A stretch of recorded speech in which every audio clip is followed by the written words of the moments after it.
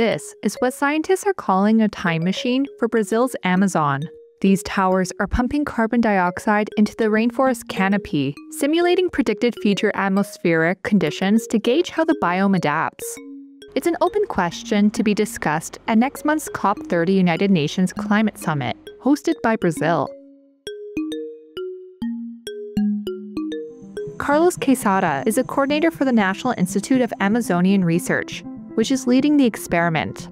Quanto a gente pode emitir ainda para How much CO2 can we still emit to stay within a 2 degree temperature increase? eliminar isso é o comportamento dessa floresta aqui atrás. And what will determine that is the behavior of this forest.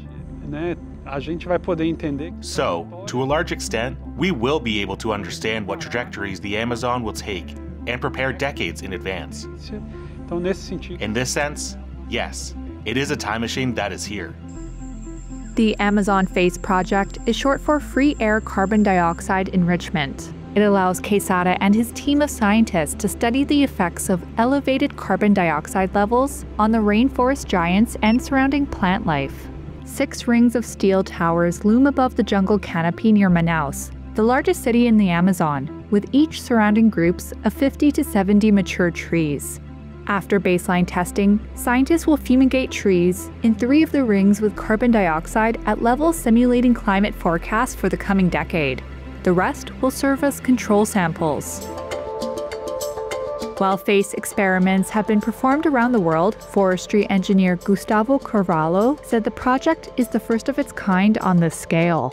Com esses sensores a gente pode With these sensors, we can get the forest's response every 10 minutes. For example, if it rains, if it's sunny, if there's a storm, we know how the forest works. A ideia é eh, a gente And the idea is to have other components to help us understand how each individual responds to these changes. So we are measuring various characteristics in individual leaves, and thus we can try to reconstruct this story.